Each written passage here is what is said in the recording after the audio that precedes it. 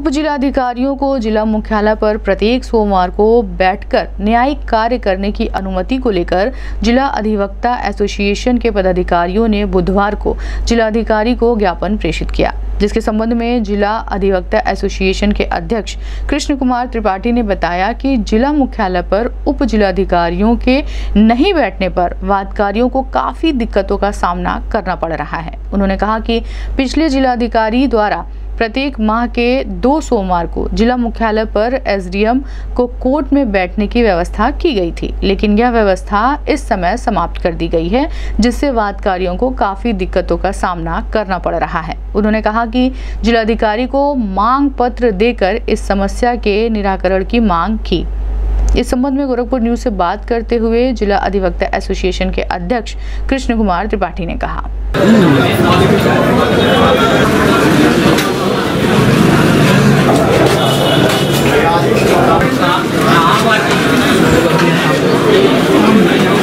DM साहब को ज्ञापन देने हम लोग पहुँचे थे डीएम साहब से बात हुई फ़ोन पर। कार्यालय में डीएम साहब उपलब्ध नहीं थे तो उन्होंने कहा कि जो है ज्ञापन लेने के लिए मैं जो है किसी को तुरंत भेज रहा हूँ। और उनको आने में जो ज्ञापन लेने वाले थे, जिनको वो भेजने वाले थे, उनको आने में विलम्ब हुआ, क्योंकि धूप ज़्यादा थी, इस नाते हम लोगों ने ज्ञापन को जो है चस्पा कर दिया डीएम कार्यालय के सामने। लेकिन जो है हम लोग चस्पा करके आ रहे थे उसी समय जो है ज्ञापन लेने वाले उनके प्रतिनिधि डीएम साहब के प्रतिनिधि आ गए और उनको भी ज्ञापन की एक छाया प्रति जो है दे दिया गया। क्या मांग किया मांग हम लोग की यह है कि गोरखपुर जिला में तहसील सृजन के बाद से जो है ही 40-45 वर्षों से जो है समस्त तहसीलों के उप जिलाधिकारीगण जिला मुख्यालय पर पहले सप्ताह में दो दिन और बाद के समयों में सप्ताह में एक दिन जो है बैठ कर के न्यायिक कार्य संपादित करते थे। और उसके बाद जो है पांडियन साहब जिलाधिकारी के कार्यकाल से जो है सप्ताह में क्या महीने में जो है वो दो दिन कर दिया गया। और दो दिन बैठकर न्यायिक कार्य संपादित करते थे। इधर जो है, कुछ दिनों से, कुछ दिनों क्या जो है, कोरोना काल से जब न्यायिक कार्य स्थगित हो गया था, उसके बाद के समयों में जो है अब एसडीएम लोग जिला मुख्यालय पर नहीं आ रहे हैं। यह व्यवस्था जो है, एसडीएम लोगों को जिला मुख्यालय पर बैठकर न्यायिक कार्य करने की 40-45 वर्षों से चल रही है। हम लोगों ने इस व्यवस्था को अनवरत कायम रखने के लिए जिलाधिकारी से मिलकर के जिला अधिवक्ता एसोसिएशन द्वारा जो है मांग पत्र दिया गया। जिलाधिकारी महोदय ने आश्वासन दिया कि ठीक है, इस पर विचार करके जो है जल्द निर्णय ले लिया जाएगा। लेकिन जो है, हम समझ रहे हैं कि विगत दो महीने बीत गया।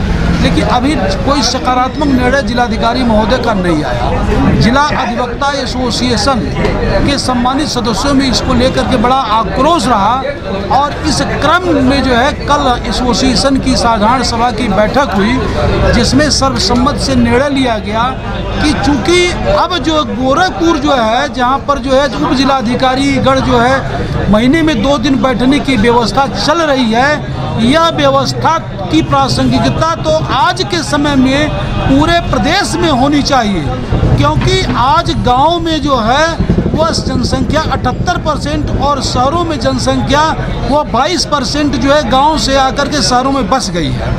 और जो है उस जनसंख्या के लिए जब सरकार की मंशा ये है कि न्याय बादकारी के दरवाजे तक जाएगा तो उस दर, उस मंशा के अनुकूल जो है जो बादकारी शहर में बस गए हैं उनके लिए जिला मुख्यालय पर ही उनके वादों की सुनवाई किया जाए।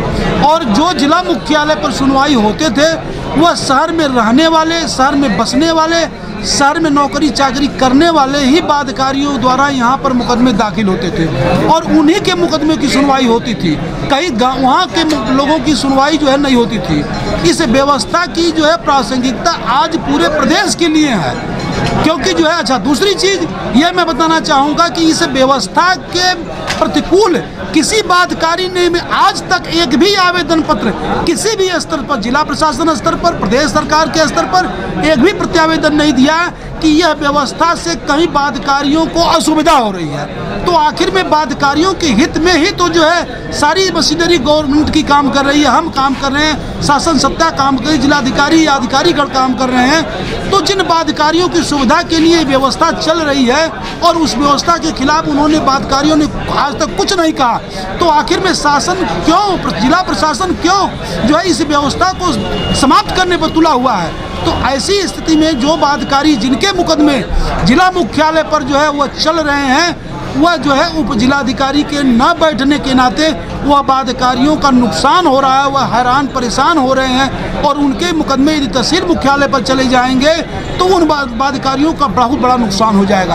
और वह जिला में, जिला मुख्यालय पर से जो है, वह तहसील मुख्यालय पर जाकर के पैरवी नहीं कर पाएँगे। दूसरी चीज़ कि तमाम ऐसे विवादित मुकदमे हैं, गोरखपुर संवेदनशील की जो है कि तहसीलों पर जो है, तमाम बाधिकारियों की जो है, सुरक्षा के दृष्टिकोण से भी जिला मुख्यालय पर बैठकर सुनने की व्यवस्था होनी चाहिए। और मैं ये समझता हूँ कि यह व्यवस्था जब जो है शहरीकरण के नाते जो है बीस बाईस परसेंट लोग शहरों में बस गए हैं तो प्रदेश के हर ज़िले में या उनके अनुपात में उस जनसंख्या के अनुपात में जिला उप जिलाधिकारीगण को जिला मुख्यालय पर बैठकर न्यायिक कार्य करना चाहिए। अभी हाल में राजस्व संहिता जो लागू हुई है, उस राजस्व संहिता के अनुसार से जो है, वह जो है, जो राजस्व परिषद के पास मुकदमे दाखिल करने की व्यवस्था थी, एकदम फ्री कर दिया गया कि चाहे जो है वह जेडे का मुकदमा हो, चाहे अलार का मुकदमा हो, चाहे राजस्व संहिता का मुकदमा हो सारे मुकदमे की अपीली न्यायालय रीजनल न्यायालय, चाहे लखनऊ किया जाए, चाहे इलाहाबाद किया जाए, चाहे उसकी जहाँ जहाँ ही प्रदेश में शाखाएँ वहाँ किया जाए बातकारी स्वतंत्र है। तो अब ऐसी स्थिति में न्याय दरवाजे तक पहुँचाने के सिद्धांत से जो है के अनुसार